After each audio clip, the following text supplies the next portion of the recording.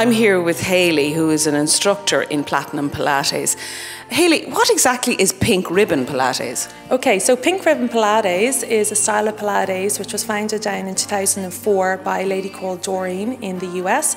Um, Doreen not only founded the Pink Ribbon program, but she also is a survivor of breast cancer herself.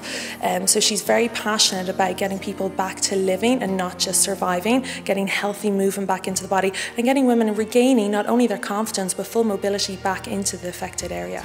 Are there mental and emotional benefits to it as well? Yes, absolutely. In fact, I think that's the most important part of doing Pink Ribbon Pilates. And what I admire so much about Catherine and all my clients is that they don't let breast cancer define them. They are not a victim of breast cancer. They are who they are, and this is just nothing but a minor speed bump in their journey of life. So coming in here can just help them through that difficult time. Coming in here can get you relaxing more, get you focusing on positive things, get you more confident in your body. Gosh, Catherine, um, I'd say that's a bit harder than it looks. It definitely is. It um, it took me at least, I think, five or six sessions to even get comfortable with those movements. They don't look hard when you see them like played out, but they actually are very tough, especially in the area where I was trying to work on. You've had your operation quite quite recently. I had it in the middle of August. And how quickly did you come back to class after your operation? I think it was around six weeks.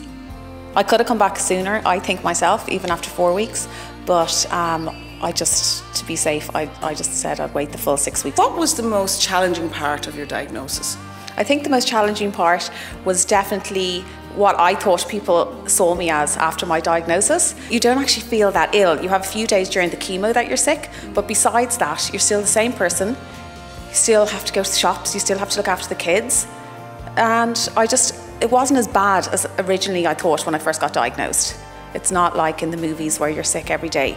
You have a few days of not feeling great, uh, and then you just get on the other days. And that's why I was happy to come and do a class, just to make me feel like myself again. Gillian, um, you also do Pilates, and you're also indeed a, a, a, breast cancer survivor, but you're a lot longer down the road than Catherine. Yeah, that's correct. Um, I was diagnosed with breast cancer over 10 years ago and um, took up Pilates a number of years ago, and I found that it's just very beneficial. I had all of my um, nodes removed from under my arm and obviously after the surgery then you feel very restricted in the movement that you can do and you're obviously quite nervous about how much you can move your arm and what tends to happen is and I've discussed this with Haley is how patients actually hold themselves on the side where they've had the surgery um, so I just find the Pilates is excellent to build up your confidence within your body and build your confidence on the side of your body where you've had the surgery. I have clients coming into to me that might have had surgery years ago.